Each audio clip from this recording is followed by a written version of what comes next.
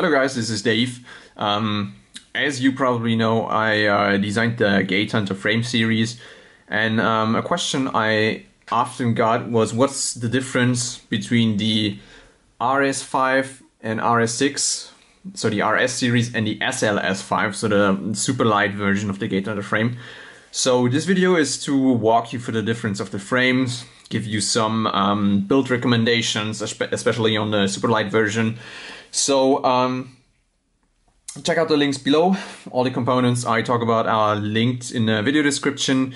And um, yeah, let's get right to it. So I have brought for you here an RS5 and the SLS5. So these are two builds I did. If we put them on a scale, Yeah. Come on.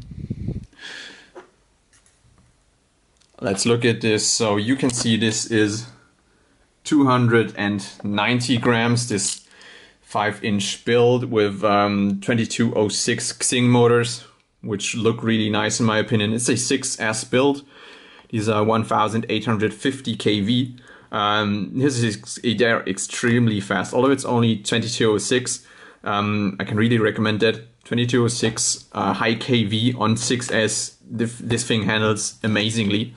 Um, but let's get back to the weight. So here the ultralight version to compare 186 grams. So we have a huge difference of 100 grams between these two builds. And uh, a lot of people are wondering where this comes from. Um, so first differences in the frames. Um, they have a pretty similar general layout. Um, you know the, the the signature gatehunter design with the single bottom plate uh, and the two arms that are linked through a plate, which you can see here. Uh, all the gatehunter frames have this single thick bottom plate uh, and the separate arms that are linked by uh, by a little plate, and then the, the signature canopies. Um, but uh, they don't share a single uh, component. It's all different. Uh, starts with the bottom plate. This is the one of the SLS uh, series, and if we compare this to the RS series, it's of course much smaller. A uh, completely different profile because it's just made for 20 by 20 stacks. This is much smaller and lighter. It's also 4 millimeters, while this one is 5 millimeters here. Uh, so by kind of downsizing this, uh, it already saves a lot of weight um, for the little 20 by 20 stacks. Uh, the arms. So this is an RS5 arm, um, 5 millimeters, and here we go with the SLS arm. So as you can see, uh, these designs are kind of different, um, more holes, in the SLS version, it's overall much, much thinner. It's four millimeters instead of five. So different arm design. Uh, that's basically where the much of the weight difference comes from. Uh, also, as you can see, this frame here is just a much smaller footprint. Um, the canopy has a completely different design. You can see it's much smaller than uh, on the RS series because we have these small 20 by 20 stacks in here. Uh, this is an HGLRC, uh, the, the 40, 40 amp version. Um, honestly, I, I, kind of forgot exactly the the name of this, but I'll link it down below in the video description. Um, and also another thing that says weight, it's the uh, the VTX. So I designed this to use the um, the small TBS Nano or Nano 32 VTXs. I have a Nano 32 in this one. Um, it does 400 milliwatts, which is more than enough for such a race build. This is pretty amazing, flies without any problem. Uh, something new I have discovered and haven't tried out yet. This is, uh, I think, a copy by HGLRC. This looks very similar to the uh, TBS Nano VTX. I haven't tried it to be honest. Let's open this thing up and take a look at it. So I got this from Banggood and I mean the upside is this thing is just a third of the price. It's around 10 euros. Yeah, it's just as small as a Nano. Um, I mean, looks good. It's much cheaper. Maybe it's uh, it's enough. I will uh, try this out and let you guys know how it performs. Uh, by the way, let's quickly measure this, what size it is. I don't know, I don't really remember what size the Nano is, but I think this is pretty much the same size, so it's 13, 14 roughly. 14 by 15, I mean, I think that's the same uh, same size than the TBS. Also comes with a little linear antenna.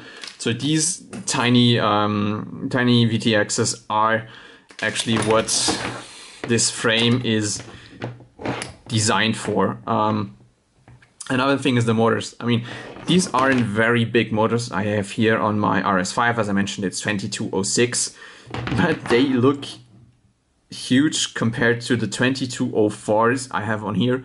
And this frame really, you should only use this with 2204.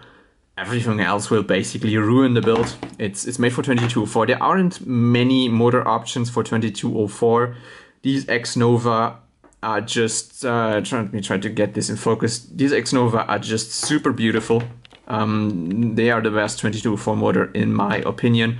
Uh, but I'll link a few options down below in the video of motors. These are 2500 kV.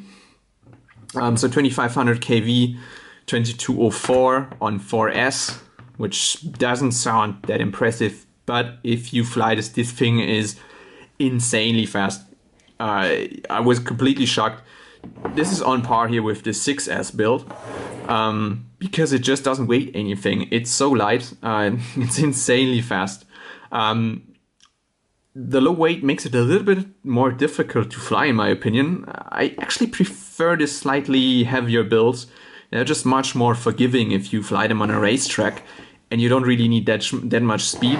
Um, but they are a lot of fun these light builds. Another really great upside is um, that you don't stress your batteries that much. I mean, I fly this one mainly with my old, really really worn down. I mean, I have dozens of these uh, old 1300 uh, milliamp hour uh, Tattu batteries, 75C uh, they are pretty old and used up. Uh, on heavier 4S builds, these really tend to sag a lot.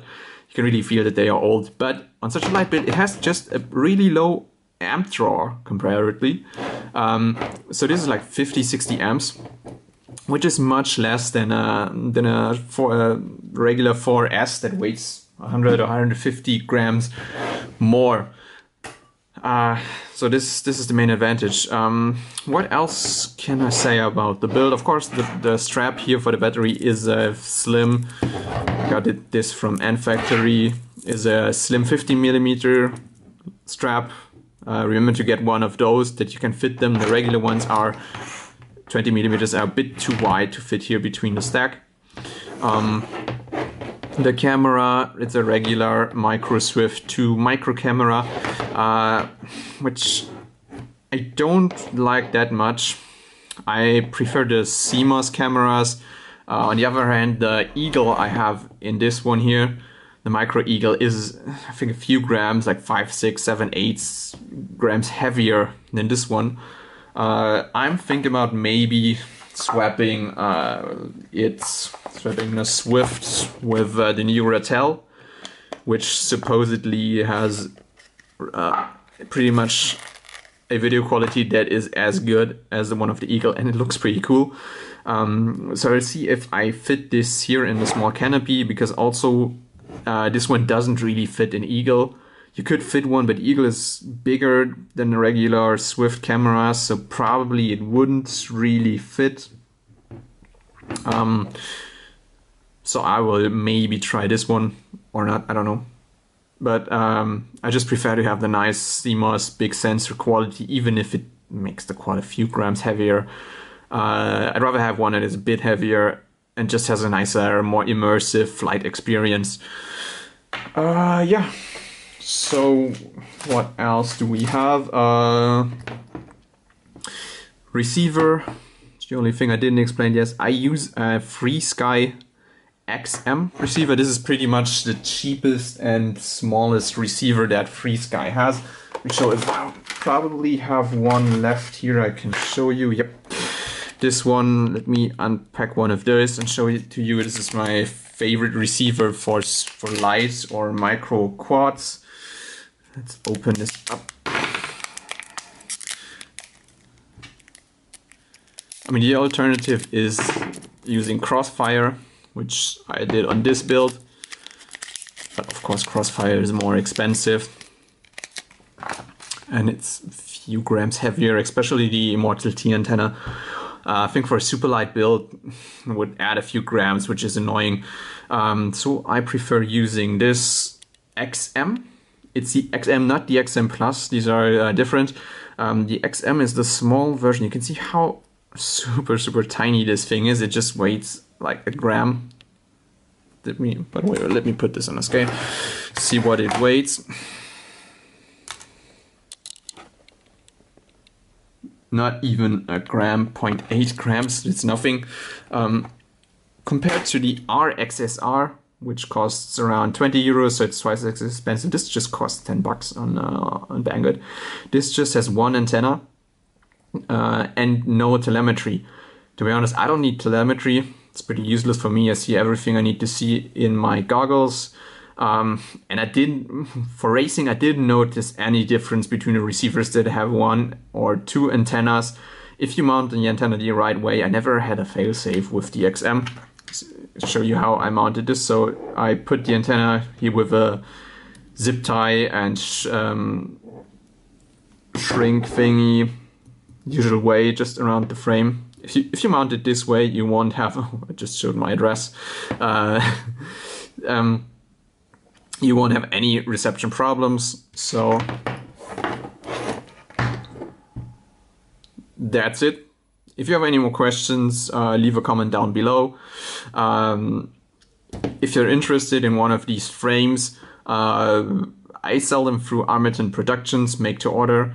Um, they have pretty amazing quality. It takes a bit longer to ship. Usually, Armaton uh, produces within two weeks.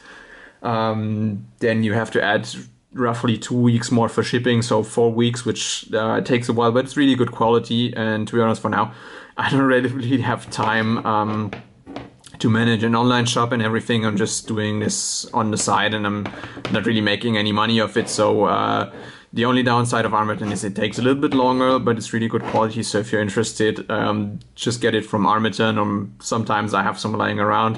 Uh, shoot me a message. Maybe I can hook you up with one of those frames. So thanks for watching and take care.